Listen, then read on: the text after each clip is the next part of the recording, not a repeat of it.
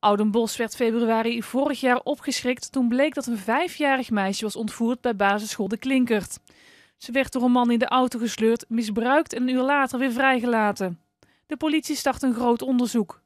Een week later werd de 26-jarige Steven B. opgepakt. Hij woont recht tegenover de school.